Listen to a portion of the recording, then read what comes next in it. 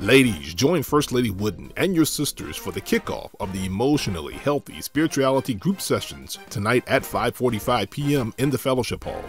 Come with your study books ready to grow spiritually and emotionally. This 8-week discipleship course is sure to be a blessing to your life.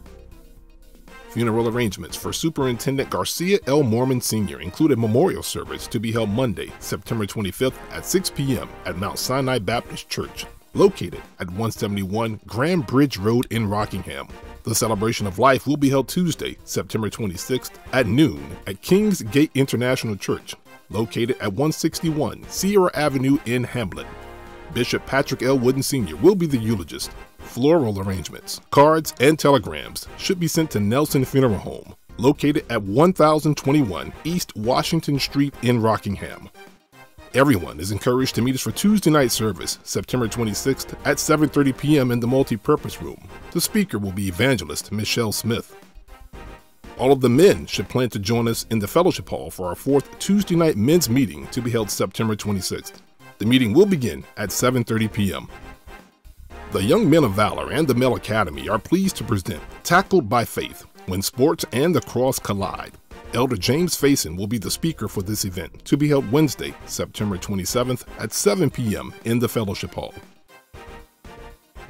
Upper Room Church family, Leroy and Diana Gauze request the honor of your presence at the marriage ceremony uniting their daughter, India Gauze, to Matthew Gross, Friday, September 29th at 4:30 p.m. here at the Upper Room Church of God in Christ.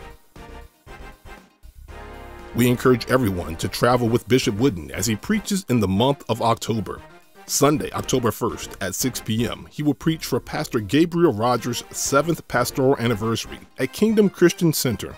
The church is located at 5832 Freedom Drive in Charlotte. Friday, October 6th at 7:30 p.m., he will preach for Pastor Charles Washington's second pastoral anniversary. The service will be held at Vision Baptist Church, located at 7633 Buffalo Road in Raleigh. Baptismal service will be held Tuesday, October 3rd. All candidates should arrive in the sanctuary by 6:30 p.m. Please call the administration office to leave your name and telephone number if you desire to be a candidate. The men's department and the Philippians are sponsoring a fellowship cookout to be held Saturday, October 7th from 2 p.m. to 6 p.m. at Biltmore Hills Park.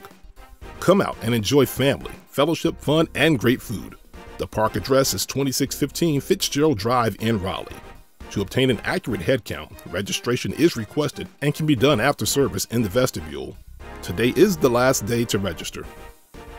Our highly anticipated 2017 Shiloh Conference is only two weeks away.